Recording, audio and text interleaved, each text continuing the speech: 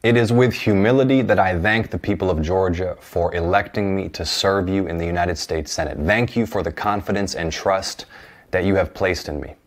At this moment of crisis, as COVID 19 continues to ravage our state and our country, when hundreds of thousands have lost their lives, millions have lost livelihoods, Georgia families are having difficulty putting food on the table, fearing foreclosure or eviction having difficulty making ends meet. Let's unite now to beat this virus and rush economic relief to the people of our state and to the American people.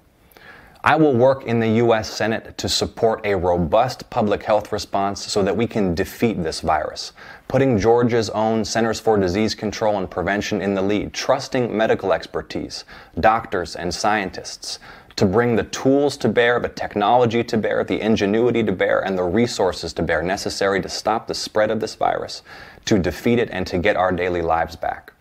And to rush direct economic relief to people who need help right now.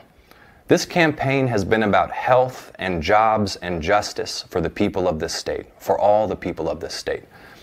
And they will be my guiding principles as I serve this state in the U.S. Senate, ensuring that every Georgian has great health care, no matter our wealth.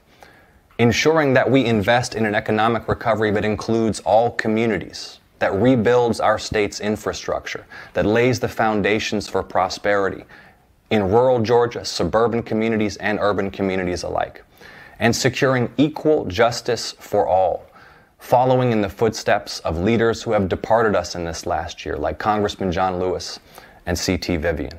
I want to thank the people of Georgia for participating in this election. Everybody who cast your ballot, everybody who put your faith and confidence in our democracy's capacity to deliver the representation that we deserve, whether you were for me or against me, I'll be for you in the U.S. Senate. I will serve all the people of the state.